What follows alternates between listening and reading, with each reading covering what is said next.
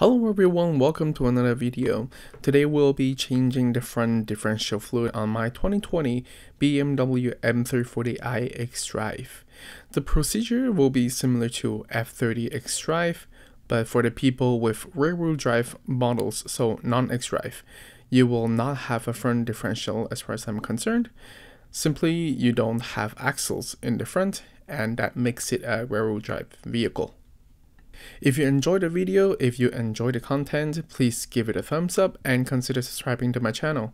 I have a lot more content for the G20 in terms of regular, easy to follow maintenance, tips and tricks that I've learned throughout the years that you wouldn't want to miss out on. Enough yapping for now, let's get into it. Whenever you are changing any sort of oil or fluid, you want to make sure to be able to crack open the fill first. For accessing the fill plug of the front diff on our car, a G20 model, the front driver's side or left side of the wheel has to come off. Given the nature of this, I would advise lifting up the vehicle on jack stands on all four corners, which is exactly what I did here. And now if you look into your suspension setup, you are gonna be able to see where I have my extension that's I'm wiggling right now. That's your fill plug. I'll attach another clip so that it's gonna better show you at another angle. But basically it's just right beside your front axle on the driver's side or on the left side. The red circle that you see is your fill plug for the front diff right beside the axle. And next let's talk about the drain plug. We do have a drain plug for the front diff fortunately, so we don't have to siphon out the old fluid from the fill hole. And now let's crawl underneath the front bumper. You will have to remove a bunch of stuff for you to access the drain bolt. And this is gonna be the plastic splash shield that you will have to remove. And that's held onto by a bunch of 10 millimeters. And the next one you'll have to remove is going to be, I believe it's an aluminum front stiffening plate that's held onto by these 18 millimeters. And I'll be able to tell how many bolts there are gonna be after I have removed all of them.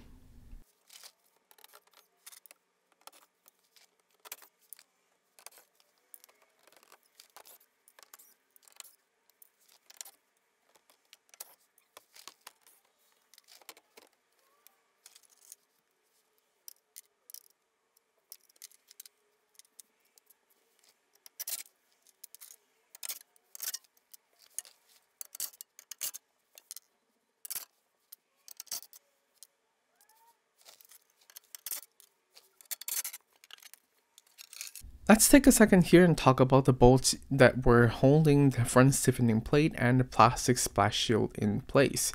These are the front stiffening plate and they are 18 mil. There are nine of them.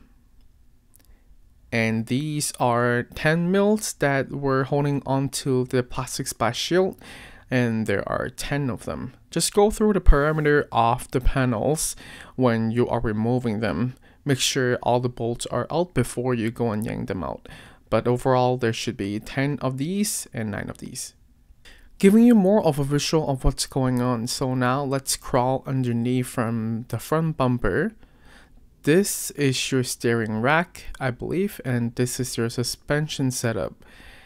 And this is where the front stiffening plate was. Now, if you go further, you can see this is going to be your drain plug for the front diff. And this entire unit, the little guy, is going to be your front differential.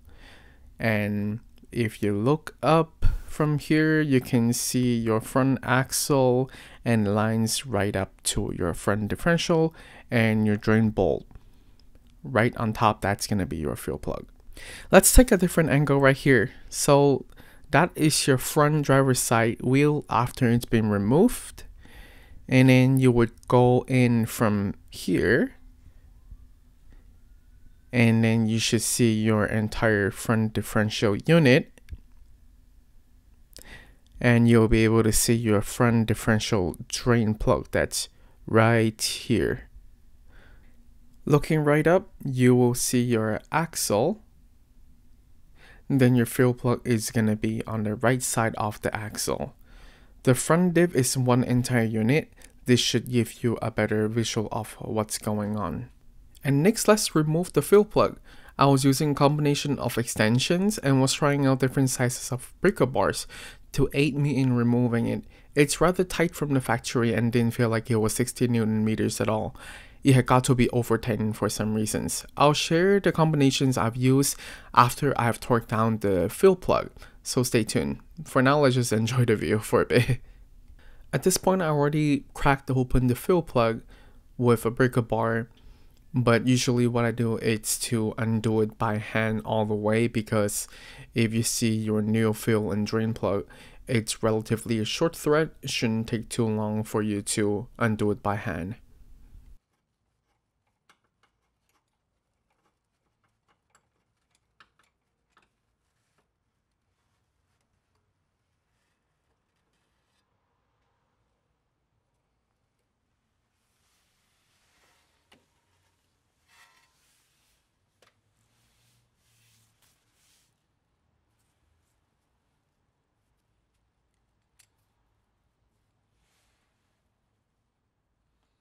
I don't think this is a magnetic bolt, so that shouldn't be any metallic flake, probably just some fluid that splashed onto it. And the Teflon seal is just completely busted. So definitely buy a set of new fill and drain plug for this job. Just glad to be replacing this now. Our next step is going to be removing the drain. It's pretty straightforward, just like that. Now that we're done draining like 99% of the old fluid, I bought two bottles of 500 milliliter that makes it a liter total and the front diff only takes about 600 milliliter. Since I have more fluid than I actually needed, I'm just gonna run a bit of the new fluid to flush the system better. Shouldn't need a lot, 50 mil or so should be enough for you to complete that. Oops, missed the drain pan. And for the next step, we're just gonna quickly wipe it down and torque the drain plug to spec, which is 16 Newton meter. And of course, as always, you wanna make sure you start threading in the bolt by hand. Then you would use a torque wrench to torque it down all the way. You don't wanna strip anything at all.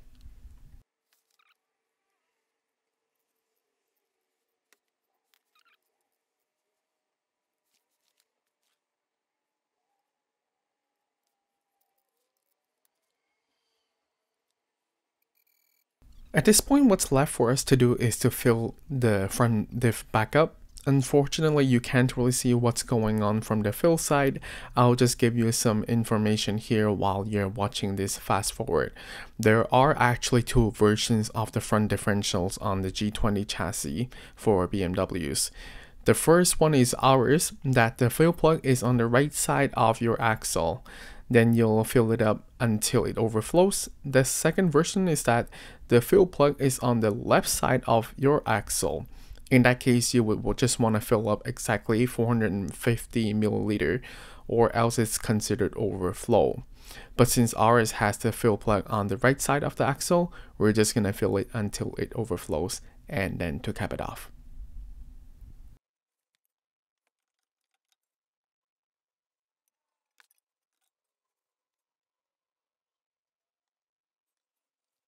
It takes about 600 milliliter for us to fill the front diff system back up and BMW dealership only sells their G2 fluid in 500 milliliter per bottle.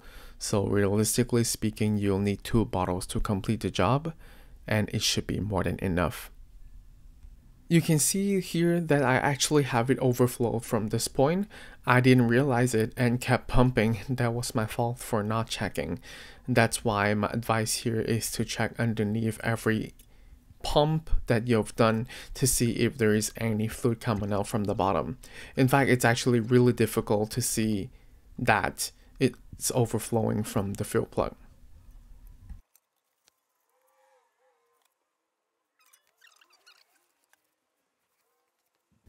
Made a mess at this job, but we're basically done here. I apologize for not being able to get the perfect footage of how I imagine it to be.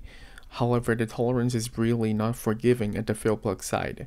And to make matters worse, you've got your headlights leveling sensor, your control arms and everything in your way that you wouldn't want to break any of those things. I actually dropped the fill plug twice at this angle and you can see me crawl back underneath. Finally decided to hand tighten the fill plug from underneath the vehicle with my hand going up by the drain bolt. Some tips for you right here. Here you can see I'm jacking up the lower control arm so the things I've mentioned that's in your way will be less of a hassle by having the control arm slightly jacked up. That way you'll be able to sneak your torque wrench and your combination of extensions in to torque down the fill plug, also at 60 Newton meter.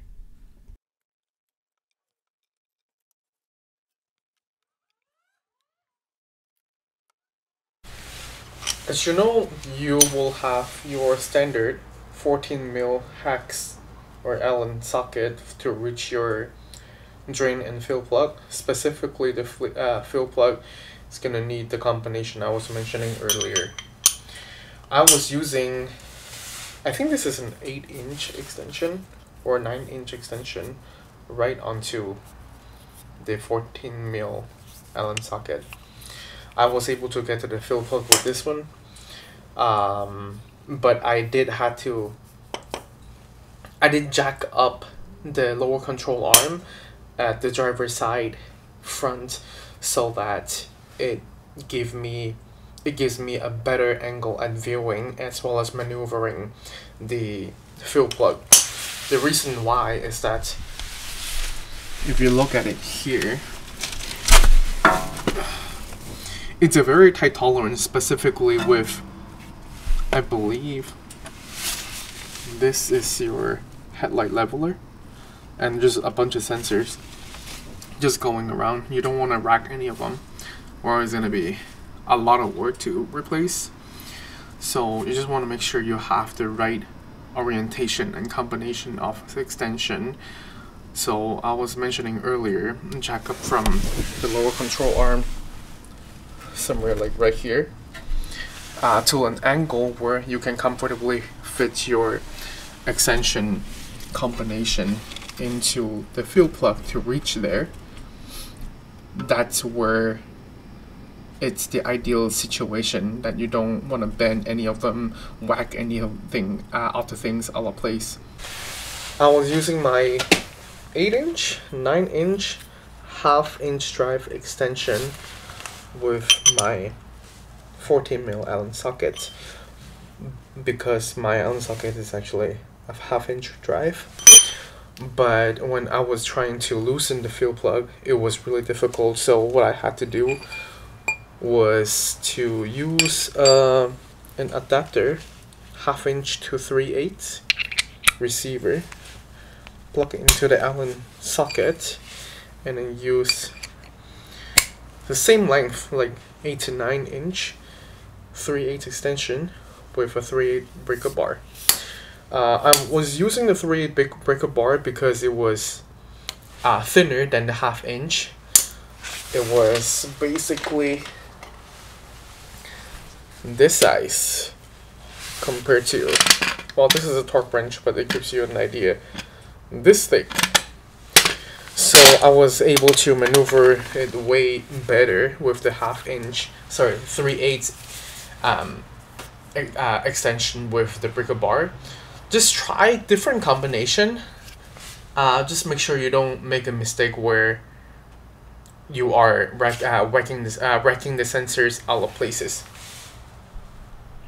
I just started the car, shifted around drive, reverse, neutral. I didn't let the car roll even though it was on jack stands, not touching the ground for safety reasons. After that, came back here to check and didn't see any leaks at all. Everything looks good to go. I just gotta wipe down the undercarriage with brake clean to tidy it up. At this point, I think we can conclude the job of changing the front differential fluid on the G20 xDrive. I sincerely apologize for the footage. They didn't come out as I imagined they would with the poor viewing angle at the fill plug, but I hope it at least gives you a better understanding, a basic understanding of the procedures of attending this job and to learn from my mistakes. If I had to take on this front diff fluid change again, I'll get a longer tube to sneak it into the fill hole better, checking underneath to see if it starts to overflow when I'm filling the front diff back up, and perhaps to jack up the vehicle a notch higher. At this point, we're basically done with the job. Of course, I'm gonna have to put the wheel back on and torque it down, then to lower the vehicle. Ideally, you would want to reinstall the two splash shields after your test drive to make sure you don't have any leaks. However, it's raining quite heavily today, and there are a lot of electronic components underneath the car that I don't want to risk running without the splash shields. I'll leave a carport underneath the car overnight and see if it develops any sort of leaks, then I'll know something is not right. If you made this far into the video, I really appreciate your support and that you're trying to learn with me how to change the front differential fluid on my G20 M340i xDrive. If you enjoyed the video, please give it a thumbs up and consider subscribing as I have more content to be released on my M340i. That's it for this video, catch you in the next one, peace.